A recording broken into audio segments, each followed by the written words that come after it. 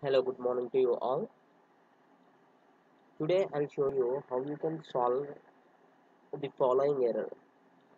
Registry editor has been disabled by your administration.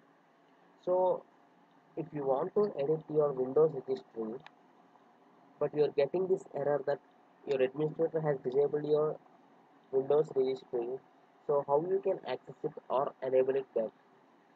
So just go to your Windows search and just type it as edit group policy.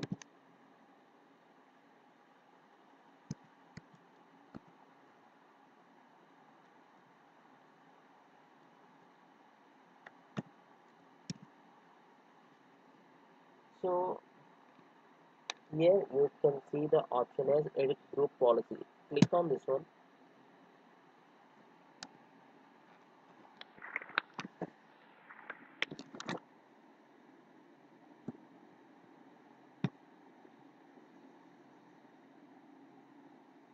here you can see the local group policy editor is open. So under user configuration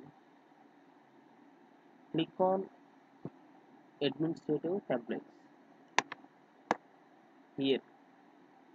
Okay under administrative templates click on system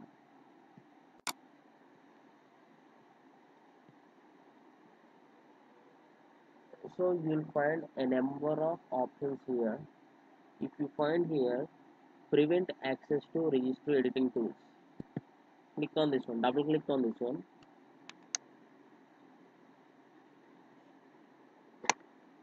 So just make sure that it is not disabled here. If it is disabled here you can click on enable so that you won't get that error further so this is how you can solve this problem that your registry has been disabled by your administrator. So i'll show you again. Just click on edit group policy here.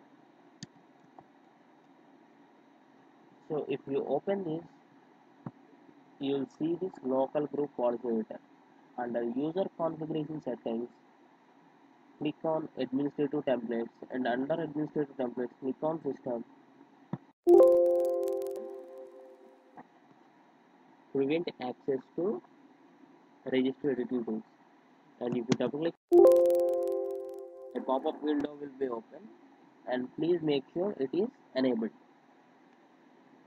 So if you enable this you can access your windows registry editor so that you can add delete or modify your existing registry keys so this is how simply you can solve this following error.